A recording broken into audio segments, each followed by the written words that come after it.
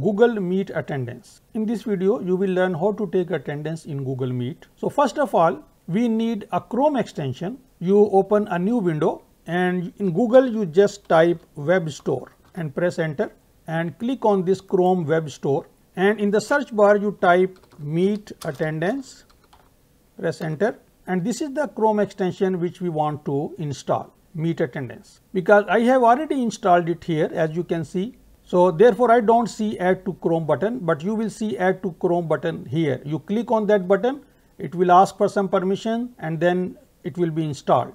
And now once I have installed this Chrome extension meet attendance now I can start my meeting. If you have a G Suite account the best practice is that you give your meeting a nickname. And the benefit would be that students won't be able to join the meeting before you have joined the meeting. Then again the best practice is that first you make sure that you have removed all the students from the meeting before leaving the meeting and once you have left the meeting they won't be able to join it once again. So make sure that you are always available in the meeting. But today I am going to start an instant meeting. So I click on new meeting and then I click on start an instant meeting. And now I click on join now and now I want to add one of my own accounts. So now I am adding one of my own accounts. Now for the simplicity I have turned off uh, my camera as you can see that my voice is showing but my camera is off on both accounts and we don't need this for taking attendance. Now to use this uh, Chrome extension meet attendance you hover your cursor in between the chat and the tick mark and you will see some more controls here. On the left hand side this is new spreadsheet. If you click here a new spreadsheet will be created and when you click here you click here when you are taking attendance for your class first time. For example, you are teaching mathematics three times a week. So first time you click on this you start a new spreadsheet. When you come on next day you add a sheet. When you add a sheet the sheet will be added in the same file stored on your Google Drive. I am going to show you in a minute. But this is very important to understand what is new sheet and what is add sheet. Then you can turn on and off uh, this extension by, clicking on this switch. Then this subscribe is if you want to upgrade to pro version of Meet Attendance. It also has a pro version and there are few features. For example, you can compare who is absent from your class or these kind of things. And then on the right hand side you see this camera sign which is snapshot and this is the most interesting and important feature in this Chrome extension. And this allows you to take attendance multiple times during a class. Then there are more options and in this option there are three switches. The third switch should be always on because it is the most important activity. It will note the joining or leaving time of the meet attendees. Now these two are up to your choice whether you want a new sheet for every meet or you want a new sheet daily for the same meet. I have turned this off because I want to create a new sheet by using this button. So I click on that and it will be highlighted for small time and now if I click on this tick it will take me to the newly created spreadsheet. Now this is the new sheet and as you can see that it shows both the meeting attendees and also the time when they joined the meeting and this left time is the current time because we have not left the meeting.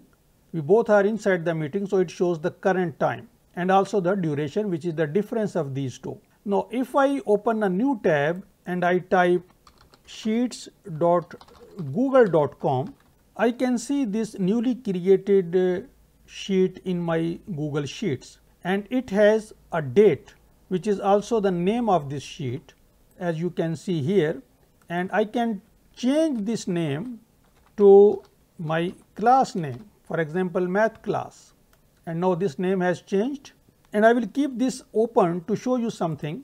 Now if I click on this tick sign again it opens this sheet in a new tab. This is the same file and this is the same attendance. So make sure that you don't unnecessarily click on this uh, tick sign otherwise it will be opening new tabs and there will be a lot of tabs. We don't want this. We only want this file to be open just once. So I can close this now. I just wanted to show you this thing that you don't click on this tick unnecessarily. Now as I mentioned that the interesting part is taking a snapshot. And now let us assume that I am in the middle of my lecture and I want to see who is still present in my class. So what I do is I click on the snapshot and now if I click on my file as you can see that a new timestamp appeared here. This is the new timestamp and at this timestamp still I can see that both attendees are present. Now I will log off from one of my accounts on my mobile phone. Now I have logged off from one of my account and now there is only one person in the meeting. And let us take the snapshot once again. So if I click on this snapshot and now I can see that another timestamp has been created and at this time only one person is present in the meeting. So this is a good way to take attendance two or three times during an online session. Now this is a attendance sheet for your math class. Now at the bottom you can see that this is the sheet name. If I click on this little arrow, I can rename this to my today's date and today is 10th of September, I can rename this sheet. And now let us say that next time I want to create a new sheet for the same uh, group of people. To do that, I click on add sheet and if I click on add sheet and now I look at my file, as you can see that a new sheet has been created. And if I click on this sheet, it will show me one attendee. So, you can now change this to 11th of September for example.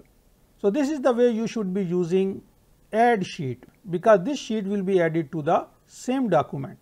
So, this is the difference between new sheet and add sheet.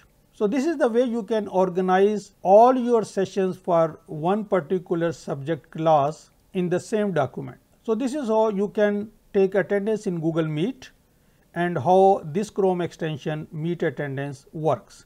Now at the end of this video, for example, few of your students do not attend the class, do not attend your collaborative activity session. So the best activity you can impose upon those students is that you must create some questions related to the topic which you have taught in that class.